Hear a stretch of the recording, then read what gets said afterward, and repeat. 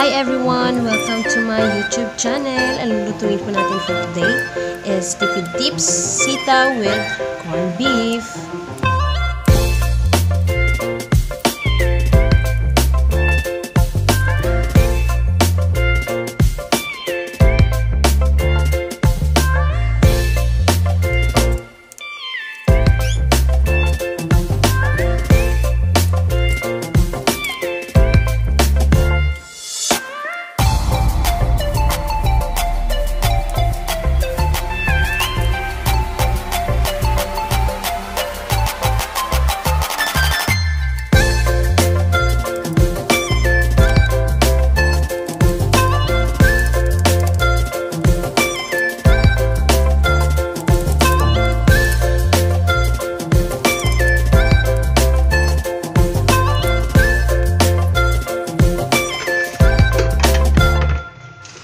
Ayan, huhugasan po natin ng gulay, ang sitaw para malinis natin siyang kainin. Hugasan natin ng mabuti.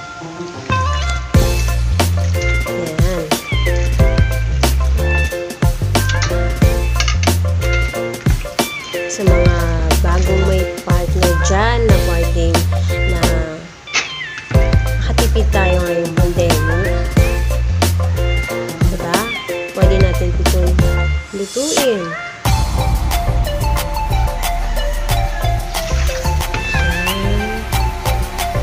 Dalawang beses o tatlong beses manugasan. Pero mas mabuti sa tatlong beses eh. Kaya lang wala kami masyadong tubig sa gripo.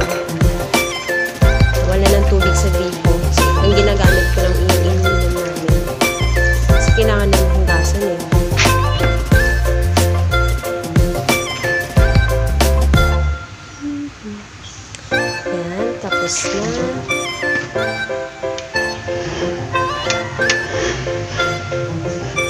na.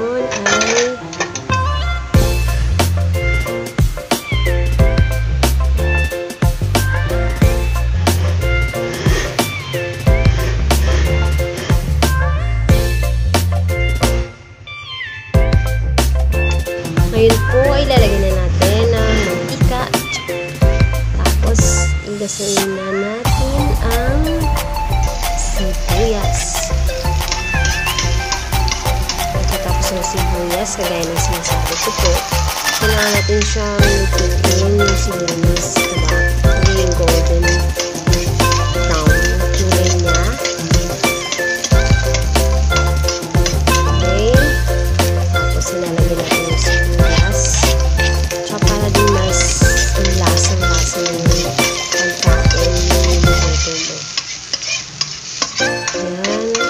makes 6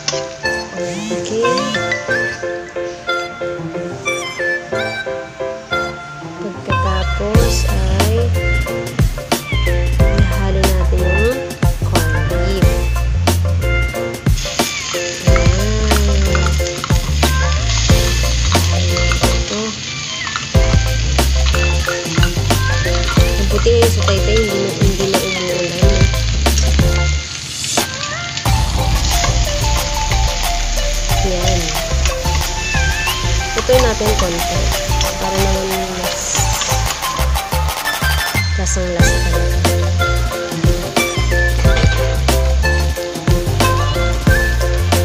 Thank you nga pala sa aking partner na aking cameraman ngayon for today kasi wala sa work. I-off niya ngayon. So, naging cameraman ko siya ngayon. Diba, ang hirap magluluto ka tapos magkakam. Ayan, lalagyan na natin yung sitaw.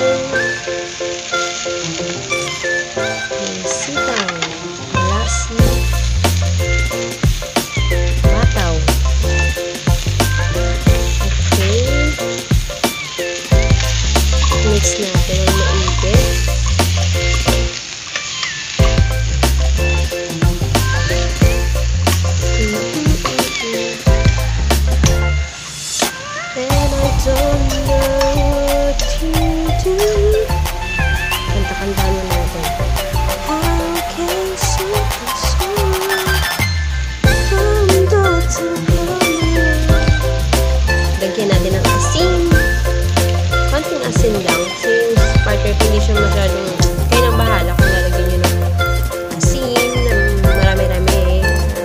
Na yung mataste niya talaga na masarap. Yung partner kasi hindi siya masyadong asin. Tapos yung lata, nilalagyan ko siya ng tubig. So, just a little bit of water. Okay, it's finished. Done. Kinat ko na lang guys kasi ang taas talaga. So, lalagay ko na siya sa plate. Guys, please subscribe my channel and click the button bell to yun na kung gusto nyo pong makita yung mga another tipid tips ng kulukay and kulukoy. Thank you guys. God bless.